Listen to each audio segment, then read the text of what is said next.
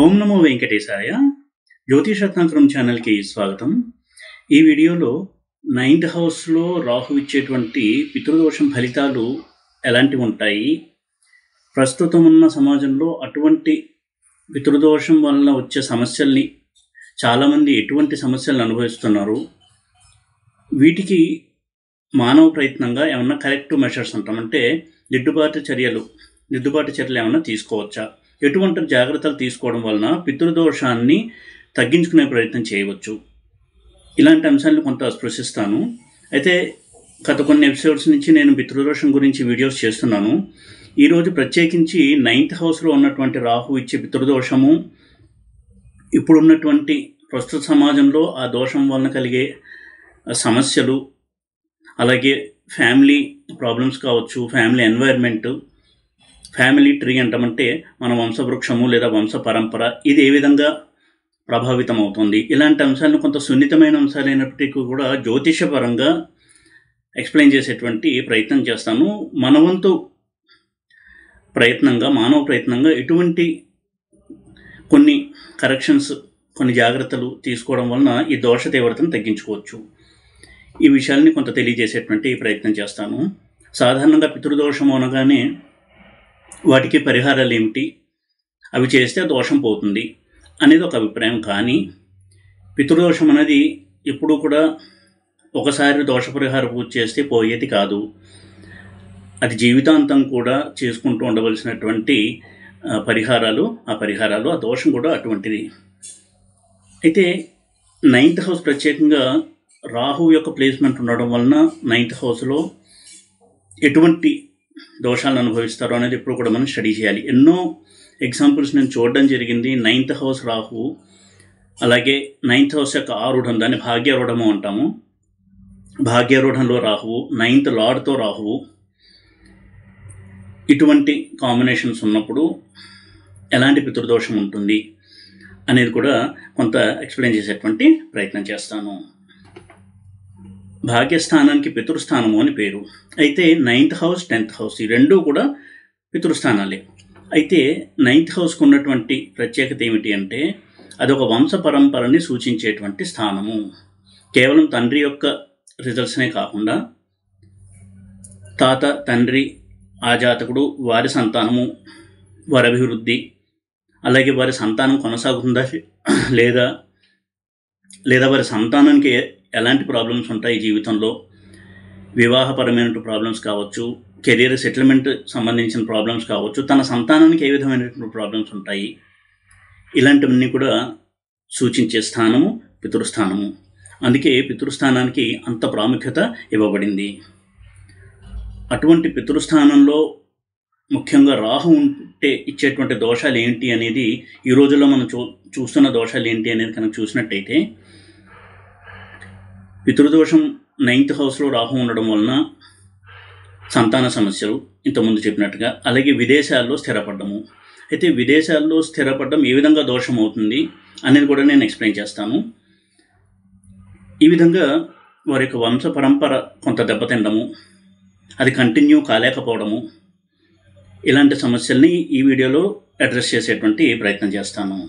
అయితే ఈ దోషాన్ని పరిశీలించేటప్పుడు నైన్త్ హౌస్లో రాహువే కాకుండా నైన్త్ లార్డ్తో రాహువు భాగ్యారూఢంలో రాహువు అలాగే జైమిని సిస్టంలో రాశి దృష్టి ఉంటుంది కాబట్టి భాగ్యారా భాగ్యారూఢాన్ని రాహువు చూడటము ఇటువంటి కాంబినేషన్స్ ఉన్నాయా అని పరిశీలించినట్టయితే అటువంటి జైమిని చరదశ కానీ రాహు మహాదశ కానీ నడుస్తూ ఉన్నప్పుడు జైమిని చరదశ కాదు ఇతర దశలు కూడా నడుస్తున్నప్పుడు ఆ దోషం యొక్క ఎఫెక్ట్ అనేది ఆ జాతకుడు అనుభవిస్తాడు. అయితే మొట్టమొదట రాహు యొక్క నేచర్ చూసినట్టయితే రాహు ఫారిన్ ల్యాండ్కి సంబంధించినటువంటి ప్లానెట్ కాబట్టి నైన్త్ హౌస్లో ఉన్నటువంటి రాహు సాధారణంగా ఫారిన్ ల్యాండ్కి పంపించడానికి ట్రై చేస్తాడు. అలాగే పౌరసత్వాన్ని కూడా మారుస్తాడు. అంటే ఉదాహరణకి ఇండియా నుంచి ఫారిన్కి వెళ్ళి అక్కడ సెటిల్ అయినప్పుడు ఫర్ ఎగ్జాంపుల్ యూఎస్లో సెటిల్ అవుతారు. వారికి అమెరికన్ సిటిషిప్ అనేది వస్తున్నట్టే వారికి ఈ మూలాలు ఏవైతే ఉన్నాయో అవి ఛేదింపబడతాయి. అంటే వారికి లీగల్గా వారికి వేరే కంట్రీ యొక్క సిటిజన్షిప్ అనేది రావడం జరుగుతుంది. అలా వచ్చిన తర్వాత వారి జీవితంలో ప్రాస్పెరిటీ కూడా ఎక్కువ ఉంటుంది అంటే జాబ్లో రైస్ కావచ్చు వ్యాపారంలో మంచి ఫలితాలు ఇలాంటివన్నీ ఉంటాయి. అయితే ఇక్కడ దోషం అనేది ఏ ఏ కోణంలో చెప్తున్నాను అనేది కూడా మనం పరిశీలించాల్సి ఉంటుంది. మన సనాతన ధర్మంలో పితృకార్యాలకి చాలా ప్రాముఖ్యత ఇవ్వబడింది. ఎప్పుడైతే రాహువు నైన్త్ హౌస్లో ఉంటాడో పితృకర్మలు లుప్తమవుతాయి. అంటే వారు వారి తల్లిదండ్రులకి పితృకర్మలు చేయలేరు. వారికి వారి పిల్లలు పితృకర్మలు చేయలేరు. ఇది అంత పెద్ద సమస్య అంటే సనాతన ధర్మం దృష్టిలో కనుక చూసినట్టయితే ఇది సమస్యే. ఎందుకంటే ఒకసారి పితృకర్మలు కనుక లుప్తమైతే సరైన విధానంలో కనుక చేయనట్టయితే వారి యొక్క వంశంలో చాలా అనర్థాలు అనేవి జరుగుతాయి. అదే పితృదోషంగా మనకి కనపడుతూ ఉంటుంది. పిల్లలకి పెళ్ళిళ్ళు కాకపోవడము లేదా మ్యారేజ్ అయిన తర్వాత డైవర్స్ అవ్వడం కావచ్చు వైధవ్యము అలాగే పిల్లలు కెరియర్లో సెటిల్ అవ్వకపోవడము తీవ్రమైన అనారోగ్య సమస్యలతో పిల్లలు పుట్టడము ఇవన్నీ కూడా పితృదోషం కేటగిరీయే. అయితే అందుకే పితృదోష నివారణ చెప్పేటప్పుడు ఎవరు చెప్పినా కానీ పితృకర్మల్ని శ్రాద్ధకర్మల్ని శ్రద్ధగా నిర్వహించండి అని చెప్తూ ఉంటారు. కాబట్టి ఇది నిర్వహించేటువంటి అవకాశం ఉండదు. అయితే ఇంకొక వాదన కూడా ఉంది. ఏమంటే మేము అమెరికాలో ఉంటున్నామో అక్కడే పితృకర్మలు చేస్తున్నామండి అని. అయితే మహాస్వామి గారు కంచి పరమాచార్య మహాస్వామి నడిచే దైవంగా కొలవబడినటువంటి స్వామి ఇప్పటికీ వారి భక్తులకి వారి యొక్క అనుగ్రహాన్ని అందిస్తూ ఉన్నటువంటి మహాస్వామి కూడా చెప్పడం జరిగింది. శ్రాద్ధకర్మలు నిర్వహించాలి అంటే మన భారతదేశానికి వచ్చి నిర్వహించండి. అంతే తప్ప ఇతర దేశాలను నిర్వహిస్తే అది పితృదేవతలకు అందదు. ఈ మాట చెప్పింది మనకి పరమ ఆదర్శమైనటువంటి మహాస్వామి. ఇది వినడానికి కటువుగా ఉన్నప్పటికీ దీన్ని విశ్వసించడం మంచిది. అయితే దాన్ని విశ్వసిస్తామా లేదా అనేది అది ఎవరి వ్యక్తిగత విషయం అది వారి చాయిస్ అది. కాబట్టి ఇటువంటివి కనుక మనం మిస్ అయితే చాలా తీవ్రమైనటువంటి సమస్యలు ఉంటాయి వారి యొక్క లీనియేజ్లో వారి యొక్క వంశ పరంపరలో. ఇది ప్రధానంగా ఉన్నటువంటి ఒక రిస్క్ కాబట్టి ఎక్కడ ఉన్నప్పటికీ కూడా కనీసం చనిపోయినటువంటి పెద్దవాళ్ళకి పితృకర్మలు ఆచరించే టైంలో భారతదేశానికి వచ్చి శాస్త్రీయంగా సశాస్త్రంతో సశాస్త్రీయంగా పితృకర్మలు నిర్వహించడం అనేది చాలా గొప్ప రెమెడీగా కూడా చెప్పబడింది. రాహువు కలికి ప్రతీక. కాబట్టి రాహు యొక్క ప్రభావం ఎక్కువ ఉన్నప్పుడే ఫారిన్ ల్యాండ్లో సెటిల్ అవ్వడము సిటిజన్షిప్ మారడం అనేది జరుగుతూ ఉంటుంది. దీంట్లో ప్లస్ ఉంది మైనస్ ఉంది. ఆ మైనస్ని మనం గమనించి దాన్ని కూడా ప్లస్ ప్లస్గా మార్చుకోవచ్చు అనే ఉద్దేశంతో ఈ పాయింట్ నేను కొంత హైలైట్ కూడా చేస్తున్నాను. ఎందుకంటే మన సనాతన ధర్మంలో ఇహము పరము రెండు కూడా చెప్పబడ్డాయి. కేవలం ఇహంలో అంటే ఈ భూమి మీద ఎలా సుఖంగా బతకాలో చెప్పడమే కాకుండా పరలోకాల్లో కూడా ఎలా సుఖంగా ఉండాలో చెప్పిన శాస్త్రం ధర్మం మన సనాతన ధర్మం. ఈ దృష్టికోణంలో చూసినప్పుడు ఆధ్యాత్మిక విద్య జ్యోతిష్య విద్య వేరు వేరు కాదు. జ్యోతిషం అనేది వేదాంగం వేదాంగము వేదం నుంచి వచ్చినదే జ్యోతిష్యము. ఆ రెండు కూడా ఇంటర్లింక్ అయి ఉంటాయి. ఈ దృష్టికోణంతో ఎప్పుడు కూడా అబ్జర్వ్ చేస్తూ ఉండాలి. కాబట్టి ఇటువంటి రాహు నైన్త్ హౌస్ ప్లేస్మెంట్ ఉన్నప్పుడు ముఖ్యంగా రాహు నైన్త్ హౌస్లో ఉండి పాపగ్రహాలైనటువంటి శని కుజ రవి చంద్ర ఇటువంటి ప్లానెట్స్తో ఉండి నెగిటివ్గా ఉండి ఇతర పితృదోష కాంబినేషన్స్ ఉండి రాహు మహాదశ జరుగుతూ ఉండడం ఇటువంటి స్థితిలో కనుక్కున్నట్టయితే ఈ జాగ్రత్తలు తీసుకోవడం అనేది చాలా చాలా మంచిది. పితృకర్మల్ని శ్రద్ధగా నిర్వహించడం అనేది చాలా గొప్ప రెమెడీ ఇక ఇటువంటి నైన్త్ హౌస్ రాహు వలన ఇంకొక చిత్రమైనటువంటి పరిస్థితి చూసినట్టయితే పిల్లలు చాలా వృద్ధిలోకి వస్తారు. కానీ వారు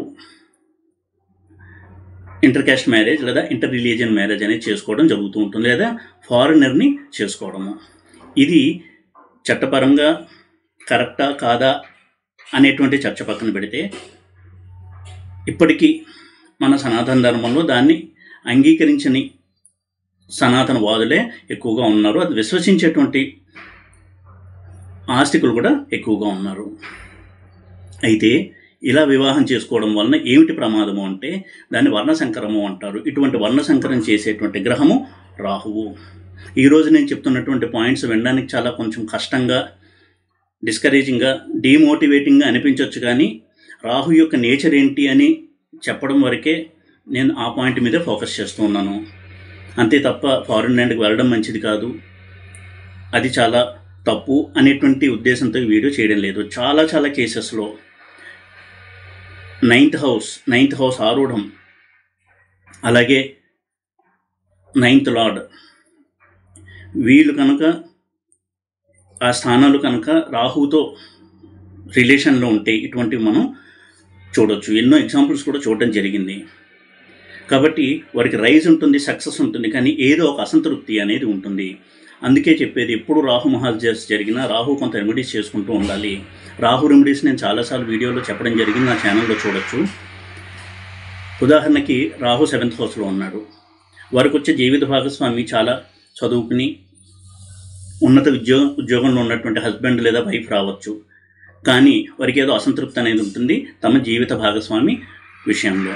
అయినా కానీ కాంప్రమైజ్ అవుతూ నేను నా మ్యారీడ్ లైఫ్ లీడ్ చేస్తున్నాను అనేటువంటి స్థితిలోనే వారు మ్యారేజ్ మ్యారీడ్ లైఫ్ని లీడ్ చేస్తూ ఉంటారు. అలాగే ఫిఫ్త్ హౌస్లో రాహు ఫిఫ్త్ హౌస్ని రాహు ఇంపాక్ట్ చేసినప్పుడు ఇంపాక్ట్ చేసినప్పుడు కూడా వారి యొక్క పిల్లలు చాలా వృద్ధిలో వస్తారు. మెటీరియలిస్టిక్ పర్స్పెక్టివ్లో అంటే భౌతిక పరంగా చూసినట్టయితే మంచి చదువు ఉద్యోగం అన్నీ ఉంటాయి కానీ వారు తల్లిదండ్రులు పట్టించుకోకపోవడము తల్లిదండ్రుల ఇష్టానికి అనుగుణంగా ఉండకపోవడము ఆ విధంగా ఆ తల్లిదండ్రులు పిల్లల విషయంలో కొంత అసంతృప్తికి లోనయ్యి దాన్ని సర్దుకుంటూ ఉండిపోవడము. ఇటువంటి స్థితిలో కూడా ఉంటారు. కాబట్టి రాహు ఎప్పుడు ఏ స్థానంలో ఉన్నా ఎంత యోగం ఇచ్చినా ఇటువంటి అసంతృప్తి అనేది ఉంటుంది. అలాగే నైన్త్ హౌస్లో రాహు ఉన్నప్పుడు కూడా ఫారిన్ ల్యాండ్లో సెటిల్ అవుతారు కానీ వారి యొక్క మాతృభూమిని ఎప్పుడూ మిస్ అవుతూ ఉంటారు. చాలాసార్లు ప్రయత్నిస్తూ ఉంటారు ఇండియా రావాలని కానీ రాలేరు. నన్ను కూడా అడగడం జరిగింది మేము ఇంకా వచ్చేద్దాం అనుకుంటున్నాం ఇండియా కుదురుతుందా అని. కానీ వారి జాతకంలో ఇండియాకి రావడం అనేది ఉండదు. ఇంకా పితృదోషం బలంగా ఉంటే చెప్పవలసింది వాళ్ళ యొక్క ఎగ్జిట్ కూడా ఫారిన్ ల్యాండ్లో ఉంటుంది. అంటే వారి యొక్క మరణం కూడా ఫారిన్ ల్యాండ్లో ఉంటుంది. ఇది రాహు భా భాగ్యస్థానంలో అంటే నైన్త్ హౌస్లో ఉండేటువంటి రిజల్ట్స్ ఇవి. దీని పితృదోషం అనొచ్చు లేదా నైన్త్ హౌస్లో రాహు రిజల్ట్స్ అనొచ్చు. ఈ పర్స్పెక్టివ్లో రాహు యొక్క పాత్రను కనుక చూసినట్టయితే పితృకర్మ విషయంలో ఎప్పుడూ కూడా అశ్రద్ధ వహించకూడదు. ఖర్చు అయినప్పటికీ కూడా ఇండియాకు వచ్చి చేయవలసినటువంటి ఈ డ్యూటీస్ మనం తప్పకుండా చేయాల్సి ఉంటుంది. ఇక ఇందాక చెప్పినట్టుగా ఇండియాలో కనుక అవి ఆచరించినట్టయితే దానివల్ల ఆ పితృకర్మలు కూడా సఫలమయ్యి ఆ దోషాన్ని ఇవ్వకుండా కొంతవరకు రక్షిస్తాయి. ఒకవేళ దోషం ఉన్నప్పటికీ కూడా దాని తీవ్రత అనేది తగ్గుతుంది. ఎందుకంటే ఇప్పుడు ఫారిన్ ల్యాండ్లో జాబ్స్ చేస్తూ అక్కడే సెటిల్ అయినటువంటి ఇండియన్ కమ్యూనిటీ తెలుగు కమ్యూనిటీ కూడా చాలామంది ఉన్నారు. కాబట్టి ఈ పాయింట్ నేను అడ్రస్ చేయాలనేటువంటి విషయంలో ఈ వీడియోలో దీని గురించి ఎక్కువసేపు నేను చెప్పడం జరిగింది. అందుకే దీనికి రెఫరెన్స్ కూడా మనం భగవద్గీత కనుక చూసినట్టయితే మొట్టమొదటి అధ్యాయంలోనే అర్జున విషాద యోగంలో అర్జునుడు బాధపడుతూ శ్రీకృష్ణుడితో చెప్తాడు. లుప్తపిండోదక క్రియా అని. అంటే ఇటువంటి వర్ణసంకరం జరిగితే కనుక పతంతి పితరో హేషాం లుప్తపిండోదక క్రియా అన్నాడు. అంటే వారు వారి యొక్క పితృకర్మలు సఫలం కావు వారికి పిండాలు అందవు అని. ఇటువంటి స్థితి రాకుండా ఎవరిని వారు చెక్ చేసుకుంటూ యొక్క అంశంలో కొంత శ్రద్ధ వహించాలి. రాహు యొక్క ఈ ప్రభావం నుంచి తప్పించుకోవడానికి సంకల్పం అనేది బలంగా ఉండి ఇది చాలా చిన్న పనే. కొంత ఖర్చుతో కూడుకున్నది అవ్వచ్చు. అయినా కానీ శ్రద్ధగా చేసినట్టయితే చాలా మటుకు దీని ఎఫెక్ట్ అనేది తగ్గుతుంది. అలాగే రాహువు నైన్త్ హౌస్లో ఉన్నప్పుడు ఒక్కొక్క గ్రహంతో కలిస్తే ఎటువంటి రిజల్ట్స్ ఉంటాయని కనుక చూసినట్టయితే రవి రాహుల కలెక్ట్ కనుక చూస్తే పితృ దోషము అనేది పితరుల శాపం వలన వచ్చింది అని మనం గ్రహించాల్సి ఉంటుంది. అంటే మన పెద్దవాళ్ళని బాధ పెట్టడం వలన లేదా వాళ్ళకు అపచారం చేయడం వలన ఈ తరంలో ఆ ప్రభావాన్ని వారి సంతానం అనుభవిస్తూ ఉంటారు. దానివల్ల వారి కెరియర్లో సెటిల్మెంట్ అనేది ఉండదు. ఫారిన్ ల్యాండ్కి వెళ్ళి అక్కడ కెరియర్లో ఉన్నా కానీ ఎప్పుడు కూడా సెటిల్మెంట్ లేట్ అవుతూ ఉంటుంది. జాబ్స్ మారుతూ ఉండడము ఒక్కోసారి జాబ్ పోయి కొన్నాళ్ళు ఖాళీగా ఉండడం మళ్ళీ జాబ్ రావడము ఇటువంటి స్థితిలో ఎప్పుడు కూడా వారి యొక్క కెరియర్ సాగుతూ ఉంటుంది. ఆర్థిక పరంగా కూడా ఉడిదుడుకులు ఎక్కువగా ఉంటాయి. కొన్ని సంవత్సరాలు ఆర్థికంగా స్టేబుల్గా ఉంటుంది. తర్వాత మళ్ళీ కొంత డౌన్ఫాల్ వచ్చి డిప్ వచ్చి కొంత టెన్షన్ వాతావరణము ఇటువంటి లైఫ్ అనేది ఉంటుంది. అలాగే చంద్రుడు రాహుతో కలిసి పితృదోషంలో కనుకున్నట్టయితే చంద్రరాహులు ఒకటి ప్రమాదం కాకపోయినా చంద్రరాహు కుజ చంద్ర రాహు శని ఇటువంటి కాంబినేషన్ నైన్త్ హౌస్లో ఉన్నప్పుడు కొంత సైకలాజికల్ ప్రాబ్లమ్స్ మానసికంగా ఎప్పుడు అశాంతితో ఉండటము ఎక్కువ ప్రయాణాలు చేసేటువంటి జాబ్లో ఉండడము లేదా విదేశీ ప్రయాణాల వల్ల వీరికి అసంతృప్తి ఎక్కువగా ఉండడము కెరియర్లో సెటిల్ అవ్వలేకపోయాను ఆర్థికంగా స్థిరపడలేకపోయాను అనేటువంటి ఒక మానసికమైనటువంటి అలజడి ఉండడము ఇటువంటి రిజల్ట్స్ అనేవి ఉంటాయి.